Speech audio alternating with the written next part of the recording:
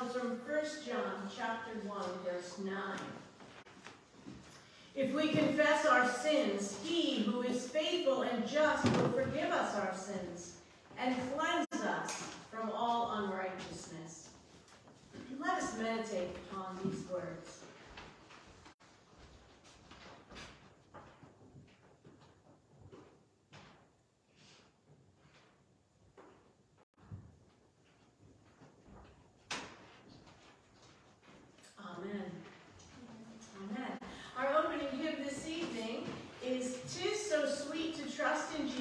page four, six,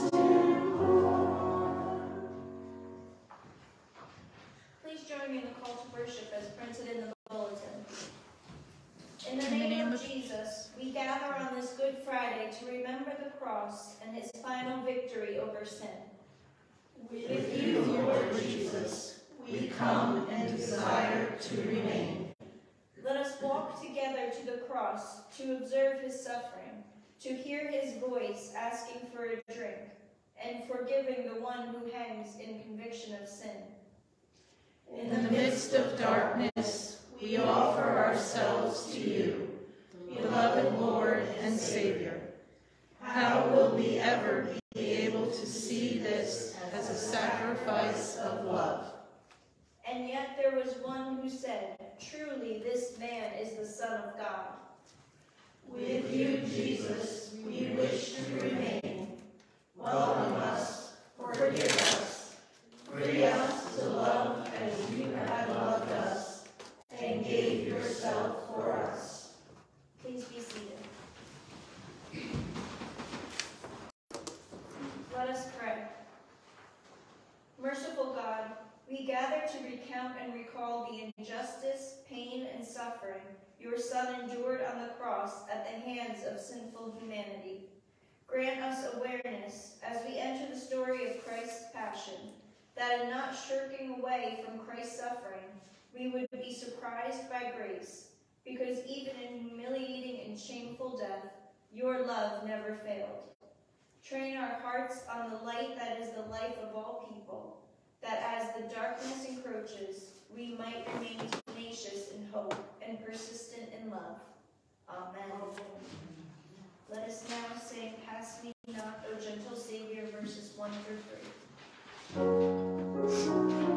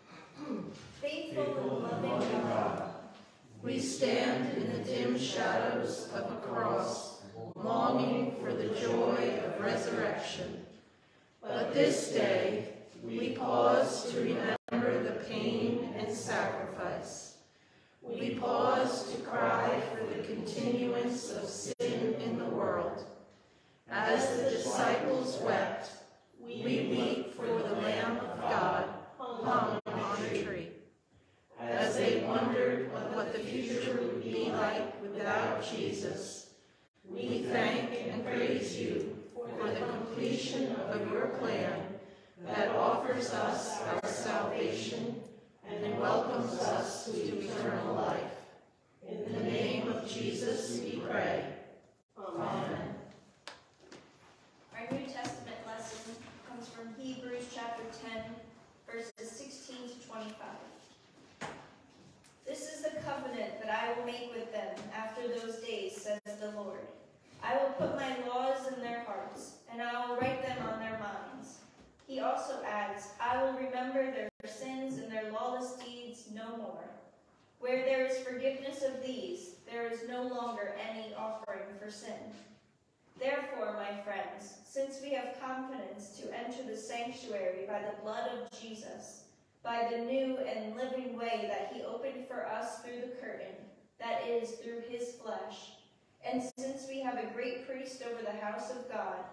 let us approach with a true heart and full assurance of faith, with our hearts sprinkled clean from an evil conscience and our bodies washed with pure water. Let us hold fast to the confession of our hope without wavering for he who has promised is faithful.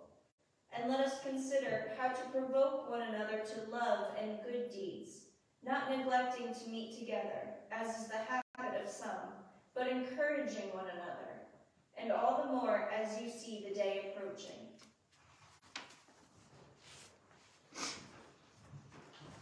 Here now, as we read the story of the Passion of Christ from the Gospel of John, chapter 18, verse 1 through chapter 19, verse 42. After Jesus had spoken these words, he went out with his disciples across the Kidron Valley to a place where there was a garden, which he and his disciples entered. Now Judas, who betrayed him, also knew the place, because Jesus often met there with his disciples. So Judas brought a detachment of soldiers together with police from the chief priests and the Pharisees, and they came there with lanterns and torches and weapons. Then Jesus, knowing all that was to happen to him, came forward and asked them, For whom are you looking?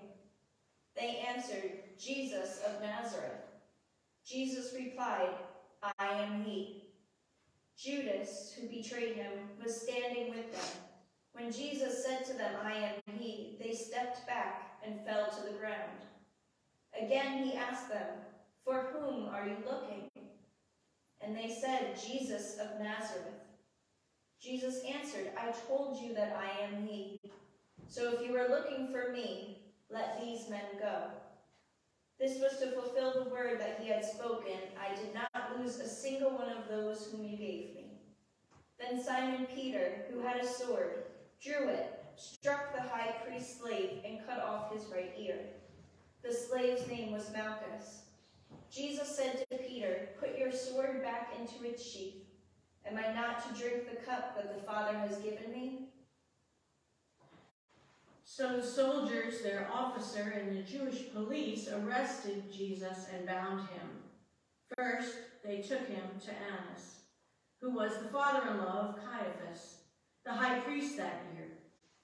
Caiaphas was the one who had advised the Jews that it was better to have one person die for the people. Simon Peter and the other disciple followed Jesus. Since this, that disciple was known to the high priest, he went with Jesus into the courtyard of the high priest. But Peter was standing outside at the gate. So the other disciple, who was known to the high priest, went out, spoke to the woman who guarded the gate, and brought Peter in. The woman said to Peter, You are not also one of the man's disciples, are you? He said, I am not. Now the slaves and the police had made a charcoal fire because it was cold, and they were standing round it and warming themselves. Peter also was standing with them and warming himself. Then the high priest questioned Jesus about his disciples and about his teaching. Jesus answered, I have spoken openly to the world. I have always taught in the synagogues and in the temple, where all the Jews come together. I have said nothing in secret. Why do you ask me? Ask those who heard what I said to them. They know what I said. When he had said this, one of the police standing nearby struck Jesus on the face, saying, Is that how you answer the high priest? Jesus answered, If I have spoken wrongly, testify to the wrong. But if I have spoken rightly, why do you strike me? Then Annas sent him bound to Caiaphas, the high priest. Now Simon Peter was standing and warming himself. They asked him, You are not also one of his disciples, are you? He denied it and said, I am not. One of the slaves of the high priest, a relative of the man whose ear Peter had cut off, asked, Did I not see you in the garden with him? Again Peter denied it, and at that moment the cock crowed. Then they took Jesus from Caiaphas to Pilate's headquarters. It was early in the morning. They themselves did not enter the headquarters, so as to avoid ritual defilement and be able to eat the Passover. So Pilate went out to them and said, What accusation do you bring against this man? They answered, If this man were not a criminal, we would not have handed him over to you. Pilate said to them, Take him yourselves and judge him according to your law. The Jews replied, We are not permitted to put anyone to death. This was to fulfill what Jesus had said when he indicated the kind of death he was to die. Then Pilate entered the headquarters again, summoned Jesus, and asked him, Are you the king of the Jews? Jesus answered, Do you ask this on your own, or did others tell you about me? Pilate replied, I am not a Jew, am I? Your own nation and the chief priests have handed you over to me. What have you done? Jesus answered, My kingdom is not from this world. If my kingdom were from this world, my followers would be fighting to keep me from being handed over to the Jews. But as it is, my kingdom is not from here. Pilate asked him, So you are a king? Jesus answered, You say that I am a king. For this I was born, and for this I came into the world, to testify to the truth. Everyone who belongs to the truth listens to my voice. Pilate asked him, What is truth? After he had said this, he went out to the Jews again and told them, I find no case against him. But you have a custom that I release someone for you at the Passover. Do you want me to release to you the king of the Jews? They shouted in reply, Not this man, but Barabbas. Now Barabbas was a bandit. Then Pilate took Jesus and had him flogged, and the soldiers wove a, corn, a crown of thorns and put it on his head, and they dressed him in a purple robe. They kept coming up to him, saying, Hail, King of the Jews, and striking him on the face. Pilate went out again and said to them, Look, I am bringing him out to you to let you know that I find no case against him. So Jesus came out, wearing the crown of thorns and the purple robe. Pilate said to them, Here is the man. When the chief priests and the police saw him, they shouted, Crucify him! Crucify him! Pilate said to them, Take him yourselves and crucify him. I find no case against him. The Jews answered him, We have a law, and according to that law he ought to die, because he has claimed to be the Son of God. Now when Pilate heard this, he was more afraid than ever. He entered his headquarters again and asked Jesus, Where are you from? But Jesus gave him no answer. Pilate therefore said to him, Do you refuse to speak to me? Do you not know that I have the power to release you and the power to crucify you? Jesus answered him, You would have no power over me unless it had been given to you from above. Therefore, the one who handed me over to you is guilty of a greater sin. From then on, Pilate tried to release him, but the Jews cried out, If you release this man, you are no friend of Caesar. Everyone who claims to be a king sets himself against Caesar.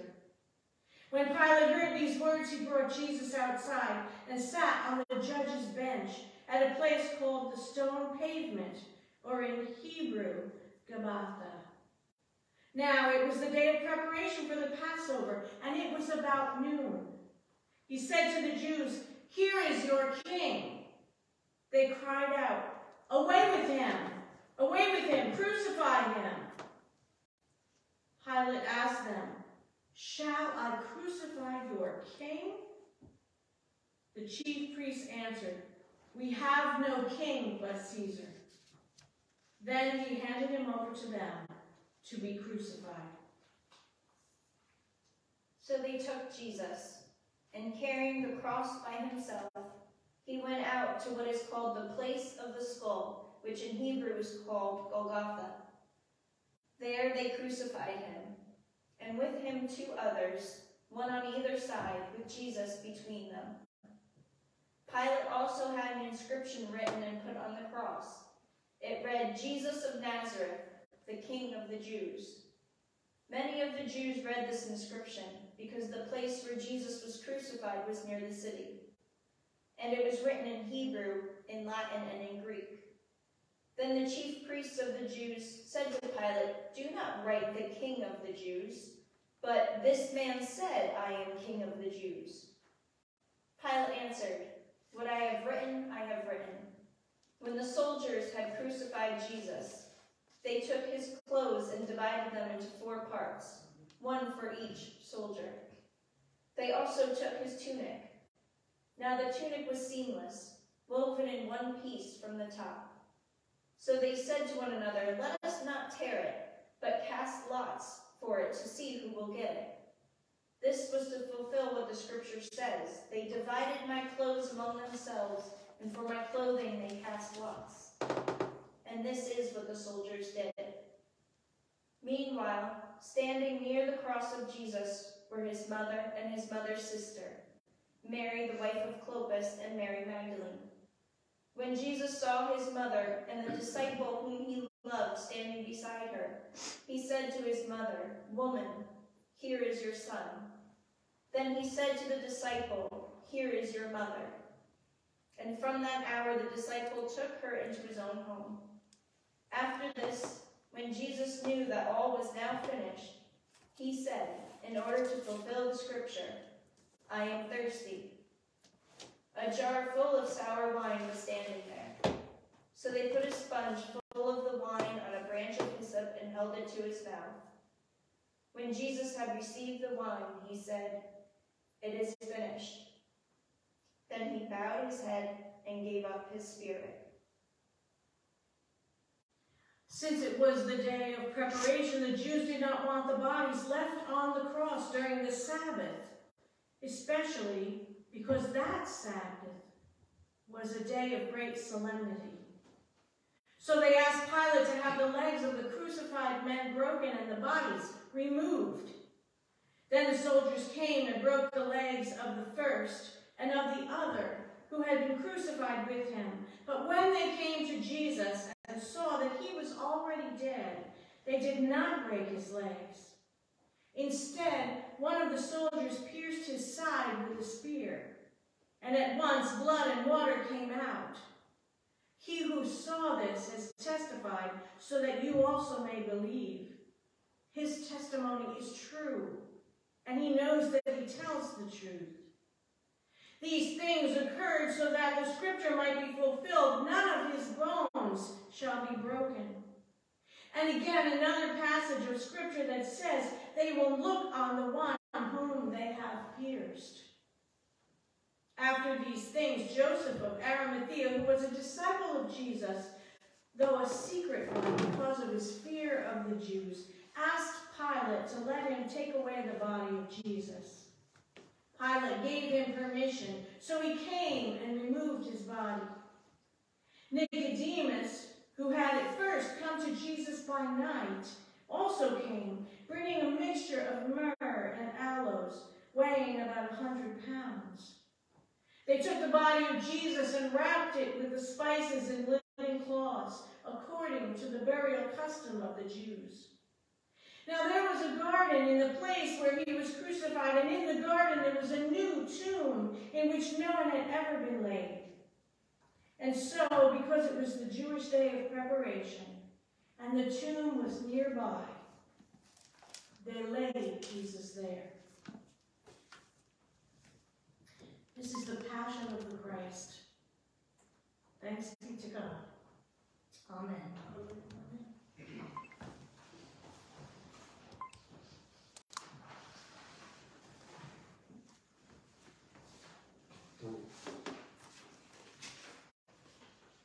What is the mood on this Good Friday experience? Is there room for joy on this sacred day? And if so, what would that joy look like? How do we proclaim the good of Good Friday in a way that makes sense to those who come to hear the experience of the day? Dare we look ahead to the resurrection? Or does that dismiss something vital about this day of darkness, sin, and death? What does God expect of us as we observe this day? Last night we learned of the significance of humble service. And the events moved quickly from dinner with the disciples and the foot washing to the garden where Jesus is arrested. beaten and mocked, hung on a cross, where he's dead by three o'clock in the afternoon, as the sky turns dark like night, the sun refusing to shine. By this time on Friday night, his sacrifice is complete, and the people's hopes and dreams for the future kingdom were gone. How do we find grace in this moment of grief? Find the joy of our salvation in the midst of the death of our Lord and Savior? As we hear the story, extinguish the Christ candle, we signify that the work of Jesus is complete. How do we maintain the light of Christ in ourselves to get us through tonight and tomorrow, which is a day of silent reflection, while we await the joy of Resurrection Day that doesn't come until Sunday? Maybe, just maybe, we simply stand at the foot of the cross in awe and wonder, along with our tears and our shame, our doubts, and our small faith, as we wrestle with ourselves, working out what does salvation mean to us? Years ago, when Mel Gibson produced his Passion movie, there were people who couldn't watch it because it was too brutal. I must admit, the first time, I couldn't keep my eyes open to see the beatings or the driving of the nails, no less the death on the cross. My heart beat fast and the tears flowed uninterrupted as I saw the scene playing out in front of me on a big screen. It made it too real, seeing it like that. The second time, I saw a little more of the movie as I held the hand of a dear friend who asked me to go with them because they didn't want to go.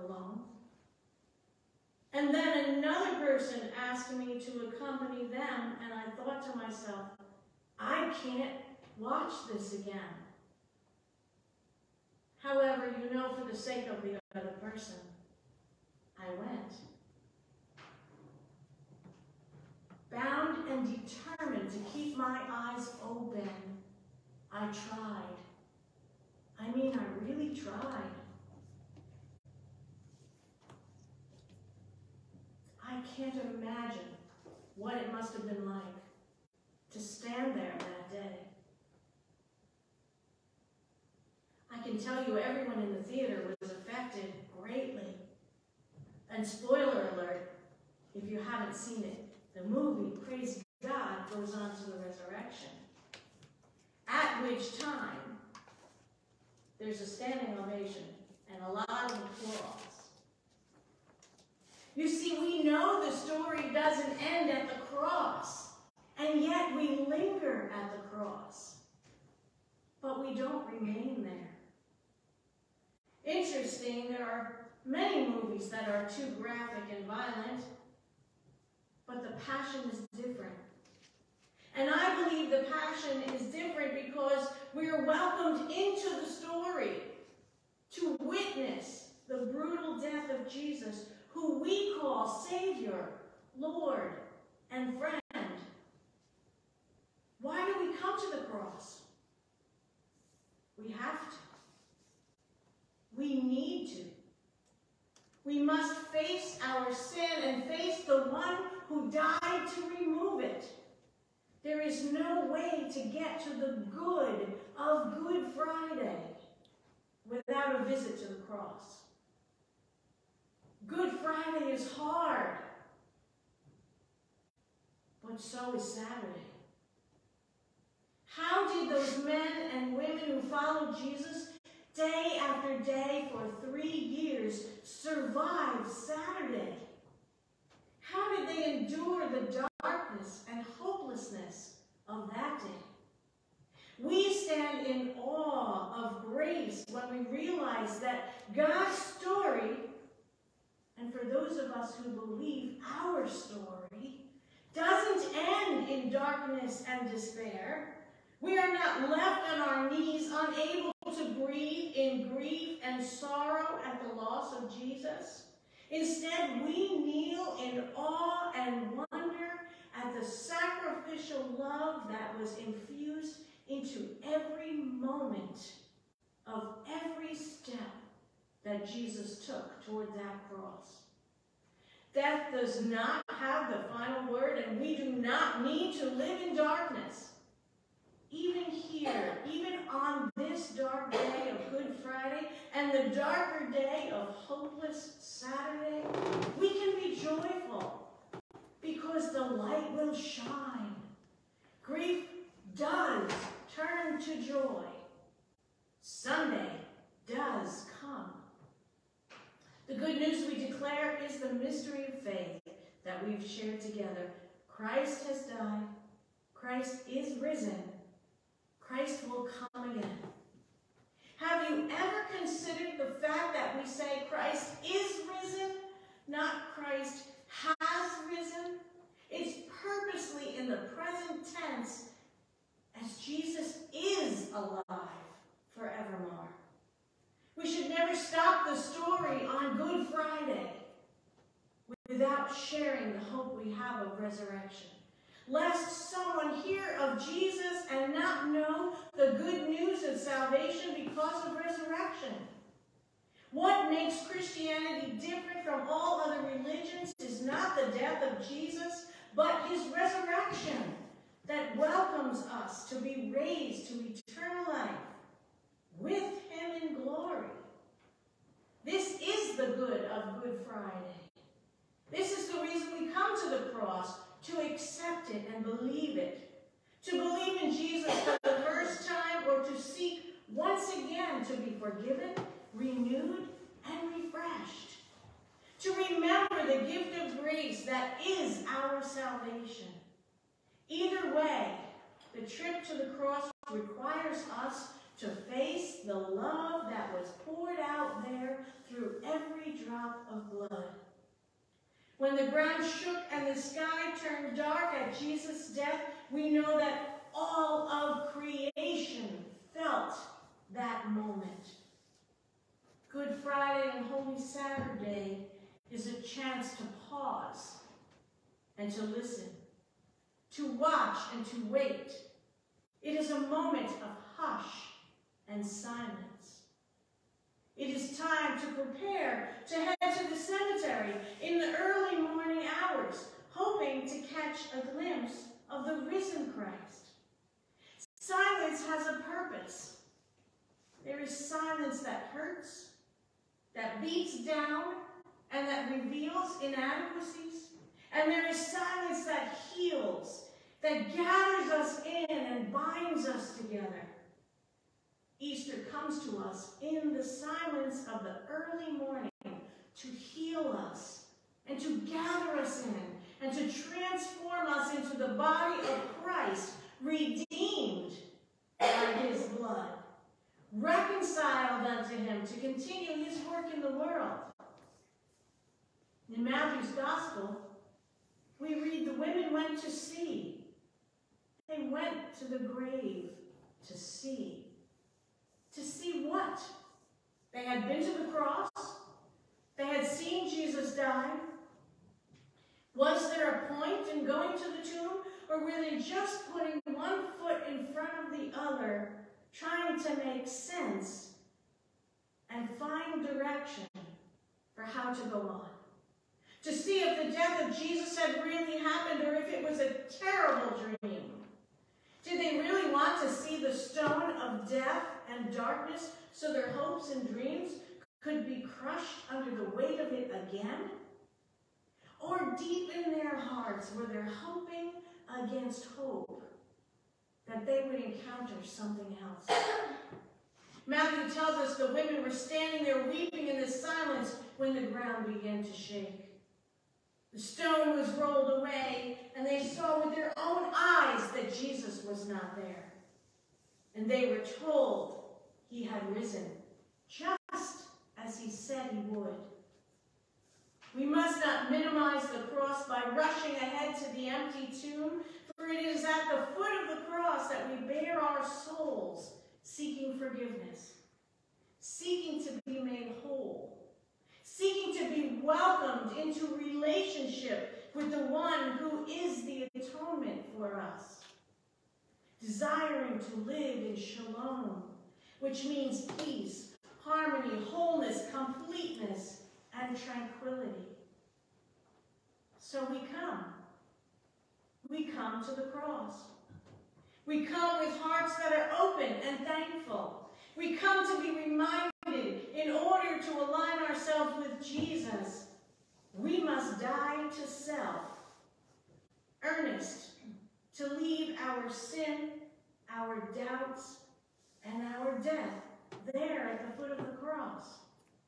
And then we wait for the encounter with the risen Christ who calls us to go and tell others. Thanks be to God. Amen.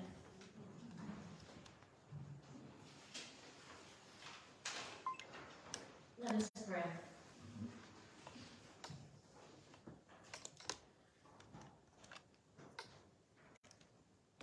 Most holy God, you loved us so much that you sent us your only Son, Jesus, to save us.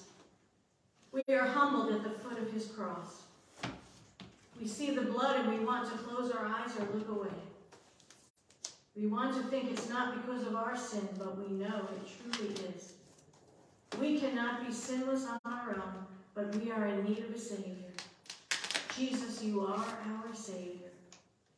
We acknowledge you died for us raised from the dead for us, and live with God the Father and the Holy Spirit forever, welcoming us home to eternal life if we will only believe. Thank you, Jesus, for loving us. Thank you, Jesus, for saving us.